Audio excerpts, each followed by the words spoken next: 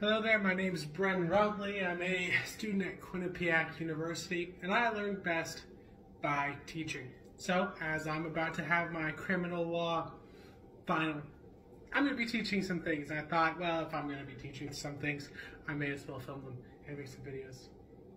So, here's what we're going to be talking about. We're talking about felony murder. Now, felony murder is usually misunderstood. Uh, people think felony murder is the same as well any other kind of murder. It's oh, it's, it's a felony, well, therefore, murder. What's the difference? Well, murder is felony murder is different than first, second, or third degree murder. Third degree murder being manslaughter, because felony murder requires no mens rea. Now, mens rea is what we call intent to a crime. So, in order to have the correct, in order to be guilty of a crime, you have to have had the right amount of mens rea. Think of it this way. I have this water bottle. It is mine. But let's say this water bottle is your water bottle. But I think it's my water bottle. If I pick it up, think it's my water bottle, and I walk away, I'm not guilty of robbery. But if I know this is your water bottle and I take it, knowing, knowingly, then I'm guilty of robbery. So that's the difference of mens rea. Felony murder requires no mens rea. Felony murder is murder that happens during the course of a felony. Because it happens during the course of a felony, it's automatically full level murder, not just manslaughter. Now these are felonies where a somebody dying is a reasonable occurrence. So it's not a felony like mass tax fraud. It's a felony like assault. So I break down crimes. Usually we use the model penal code, but felony murder is not in the model penal code. I break down crimes into three um, three sets. The conduct needed for the crime, the attendant circumstances around the crime, and the result. So let's go through it. The conduct for felony murder. The conduct for felony murder is simple. It's committing a felony. Now, usually this means a violent felony, but those things come in attendant circumstances, the type of felony.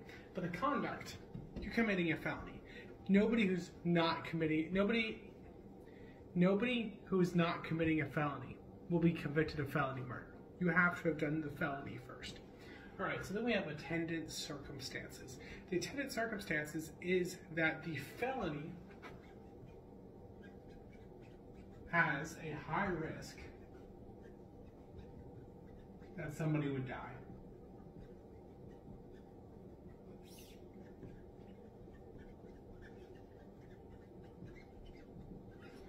It has a high risk that somebody would die. Um, it's likely that someone will die in the course of that felony. Easy example, somebody who is committing an armed robbery on a bank. When you when you have your gun out at people at the bank and you say drop or I'll shoot you, and somebody then gets shot, that's committed within the course of the felony, and that's sort of almost expected when those felonies occur. So that's the attendant circumstance. The felony has to be one where somebody dying is a reasonable result of the felony, and then the result, final result, is somebody dies. It's not felony murder if nobody dies. That's a, kind of a requirement.